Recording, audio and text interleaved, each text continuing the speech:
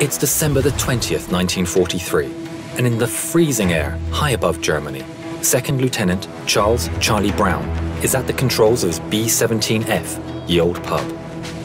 At 11.30, approaching the target of the Focke-Wulf plant near Bremen, the pub is rocked as four explosions go off right in front of the B-17. A cry comes across the intercom. We're hit! In the plexiglass nose, a huge hole had been made and icy cold wind was being blown inside, making freezing conditions for the crew. Engine 2 had been hit, and co-pilot Spencer Pinky Luke let out an expletive as he noticed a huge hole in the right wing. Releasing their bombs over the factory, the crew turned to the north, planning to head over the coast, then turn west for home. With one engine out and engine 4 now faulty, the pub started to fall back from the formation with another damaged plane. Sam Blackie Blackford in the ball turret watched as it disappeared into a cloud bank. There was an orange flash in the cloud. Bandits, Ecky shouted as five BF-109s streaked from the cloud bank. Then another cry. Bandits, as eight FW-190s were spotted in formation ahead of the pub. Sergeant Bertrand Frenchy Coulombe in the turret shot the 190 out of the sky. The navigator, Al Doc Sadek, took out the second. Pinky reported that engine 3 had been hit.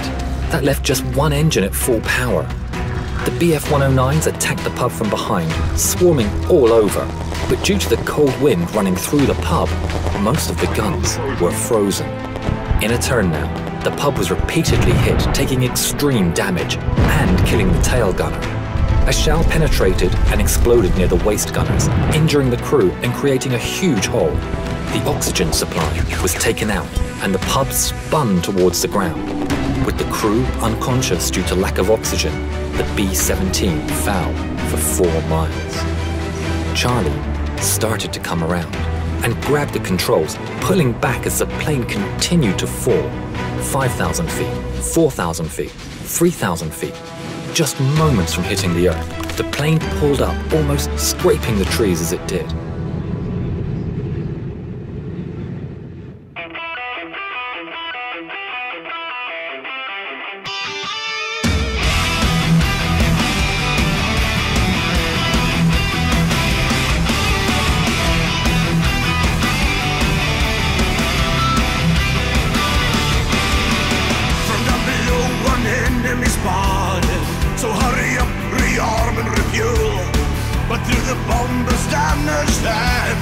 See wounded men scared to the bone.